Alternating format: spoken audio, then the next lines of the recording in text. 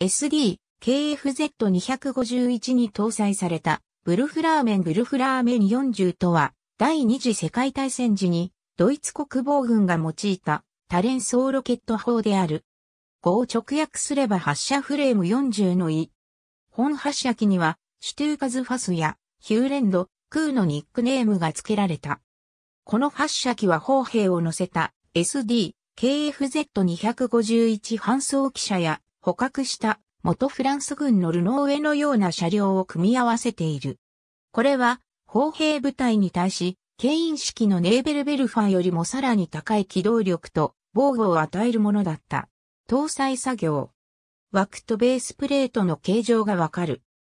ワルシャワ放棄中に SDKFZ251 に搭載されて使用されるブルフラーメン40-1940年後半に出現したこの兵器システムは調整可能なベースプレートに枠構造をつけ、車両の上部や側面に装着するもので、高性能榴弾ロケットである 30cm ネーベルベルファー42を装填することができた。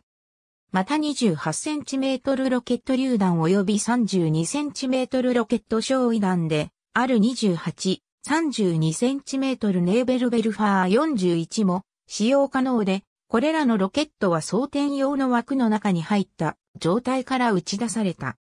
弾からだが先導して安定を得るとはいえ、これらのロケット弾の弾道は従来の火砲のそれより正確ではなく、また再装填はロケットの重量のために時間を消費した。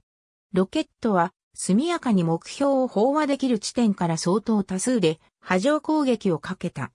ブルフラーメン40は機動力のある戦車部隊のための支援兵器として、特に市街地において運用に成功した。SD、KFZ251 搬送機車から一般的な装着状態で用いるときは、6枚のベースプレートにフレームを付けたものが用いられ、3機ずつが車両の側面に配置された。ルの上では2機ずつを側面に装備するか、後方に4機を装着した。オチキス H35 にも側面に2機ずつを装着した。幾台か捕獲したアメリカ製の M3 ハーフトラックにもブルフラーメンが装備され、両側面にベースプレートを2枚装着した。ありがとうございます。